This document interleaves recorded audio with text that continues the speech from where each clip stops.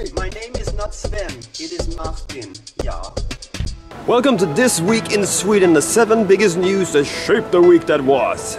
Monday. Swedish man Raoul Wallenberg became the first honorary Australian citizen after his efforts to save so many thousands and thousands of Jews during uh, the Holocaust in Hungary. And uh, the Prime Minister of Australia said, an expression of deep gratitude for all that our nation gained when so many saved by Wallenberg came to these shores, because so many of them actually came to live in Australia. Tuesday. Senegalese singer Youssou N'Dour wins the Polar Prize for 2013. Previous winners of this prize include Bob Dylan, Isaac Stern, Dizzy Gillespie, Elton John, and Paul Simon. Wednesday. A two-year-old toddler was found dead in a car after supposedly the father had forgotten about him and forgot to drop him off and he was left in the car for eight hours when they found him.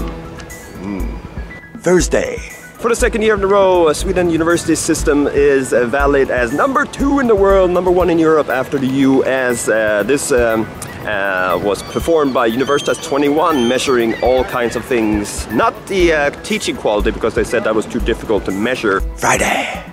US comedian uh, Amy Poehler will be involved in producing a show called Welcome to Sweden, where her brother Greg, who has lived in Sweden for six years, will be the star of the show. It's about the challenges of moving to Sweden to a new culture of socialists and people who just care about each other. Saturday.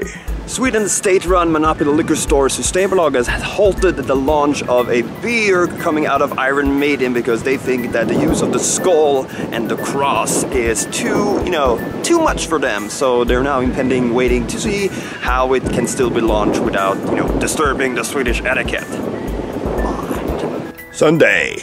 A 20 year old woman is still missing in the town of Boden up in North Sweden. As of me filming this, I still haven't seen any reports of her being found, whether she has been abducted or lost or is just missing. And I guess the annotation on this video will tell you what the result would be. And that was this week in Sweden, coming out from sunny, wonderful, and the music-filled Malmö, where the Eurovision week is right now happening. And uh, hopefully, I'll see you next week with another seven news coming out of Sweden. If you want to see more or read more of these stories, you can look in the underbar. And if you want to see more of his videos, just subscribe and you know, don't drag your bags over the cobblestone because it disturbs the video. Bye.